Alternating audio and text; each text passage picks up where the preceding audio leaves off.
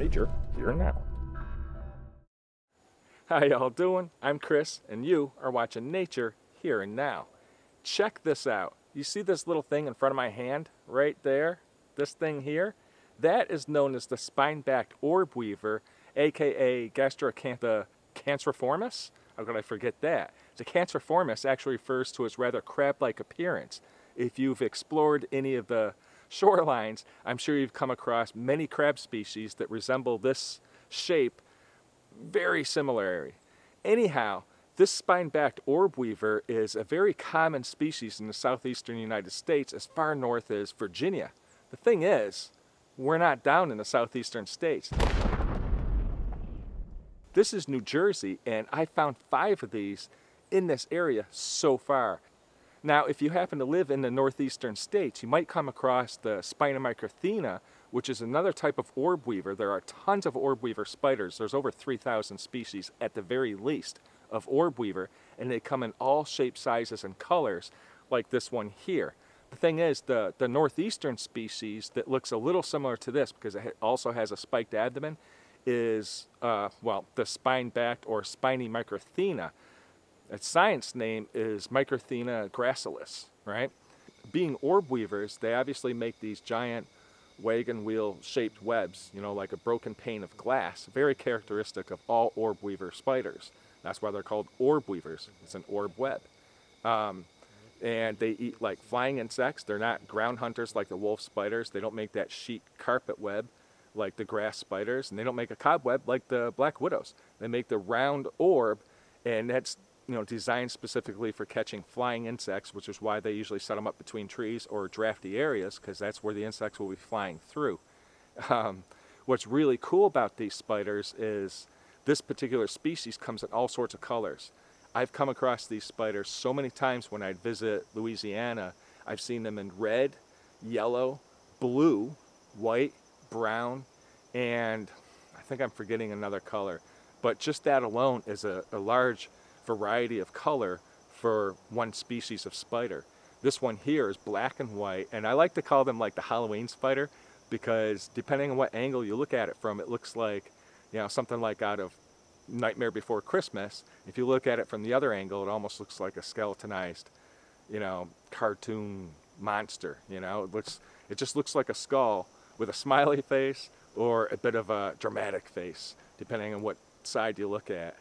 Um, now, as I said, there's a very common spiny orb weaver species in the northeastern states, the spiny micrathena. Um, but once you, you know, look closer at the two species, you'll see that their differences are pretty obvious. Fortunately, I can find both species in this woodlands right now. Let's have a closer look at the, the spineback orb weaver first. Now you see that it's got somewhat of a wider abdomen with the spikes coming off to the sides, you know, two predominantly large spikes. And it's somewhat of a, you know, a round spider, not very big, about the size of, I don't know, an M&M. um, and if you're fortunate enough to find the ones that are yellow or blue or green or something, it's going to be pretty easy. Here's a perfect example of the Micrathena gracilis. And it's kind of funny because they are a little bit top heavy. Um, their abdomen, you know, kind of hangs down, so I literally have the camera underneath the spider looking up towards the sky. that set aside, you could definitely tell how these are rather different from the Gasteracantha.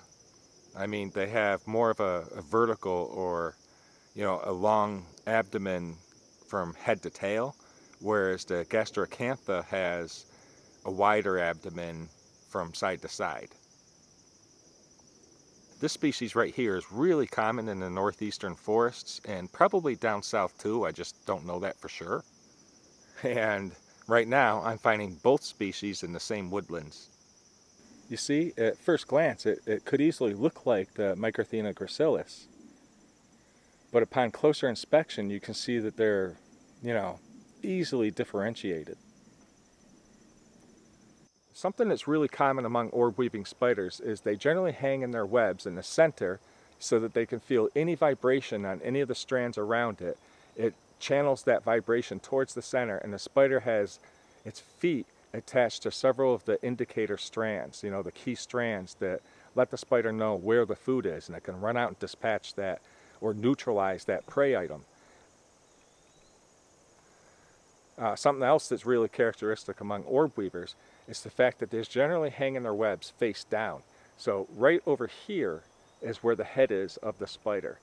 Um, but you see these main, the large spikes coming off the two sides, that's a big, you know, characteristic of this species. Actually, I haven't been down south for like 15 or 20 years, and I've really missed seeing this species and, of course, the Nephila spiders, but that's a whole nother story. Um, I'm really excited to see these species up here, up north, but I'm also kind of like surprised that it's not really supposed to be this far north. And in the past like 40 days or so, I found four or five other species of insect and arachnid, you know, that belongs in the southern states, but I'm finding it up north. And I wasn't finding these things last year or in previous years. You know, that might have something to do with climate change. You know, the temperature's getting warmer up north, the winter's getting a little bit milder, uh, summer's getting very hot and humid. And if you don't really believe in that kind of thing, you know, what can I do? Um, you know, we all have our opinions and stuff, and some of them we can keep our little secret, right? uh, I don't mean to offend anybody. I should edit that out. I'm sure you can understand why these animals are covered in spikes. I mean, the first reason is somewhat obvious, right? I mean, no bird or lizard or even a human really wants to swallow a spiny morsel of food. Can't be very pleasing, can it? But the real reason, or the other reason, I find to be a rather ingenious solution created by nature. And it's a little bit on the abstract side. You see, if you take, a, well, a grape, its size isn't very big, is it? You can easily just swallow grape down. But if you put long spikes coming off of that grape, it now increases the diameter of that grape without actually having to increase the mass of the grape or the, the main body of the grape, right? Um, I mean, think about seashells that you might find at the shore, right? You've got a shell this big, the whelk or snail or whatever lives within is only so big.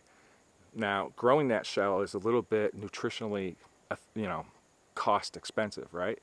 If you have large spikes coming off it, you in effect increase the, the size of that thing without actually having to increase the body mass of the creature within and it's just really cool.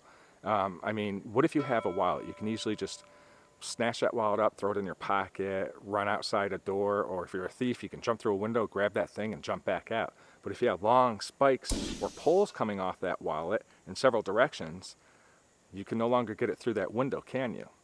And that's pretty much what goes on here.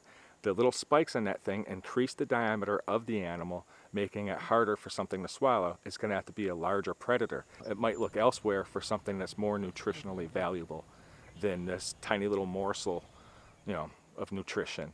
It's just really cool. I know I said that in a very clumsy manner, but you know, it's late. I've been trudging along all day and uh, there you have it. now, admittedly, I love to call this the Halloween spider for obvious reasons. But to be completely honest, there's two different spiders that I like to call Halloween spiders. The gasteracantha and the marbled orb weaver. Tell me that these things don't look perfect for a Halloween setting, don't they? I love spiders. So there you go, Gasteracantha cancriformis, the spine-backed orb weaver. And, you know, I'm excited to be finding this species because I haven't seen them in almost 20 years. But I say that with a grain of salt because it's supposed to be a southern species of spider. And sorry about the lighting here. I got to stand as still as I can because you wind up blinded. Thanks a lot for watching my video. I hope you enjoyed it. Uh, if you like watching spider videos, I have an entire playlist of spider videos. And if you haven't already, hit that like button and hit the subscribe button because it tells the algorithm that you like the video you just saw, and it helps me to get out to habitats like this and produce videos like the one you just saw. And a little bit goes a long way. Once again, I'm Chris Egnoto. I'll see you somewhere else if you're not blinded first.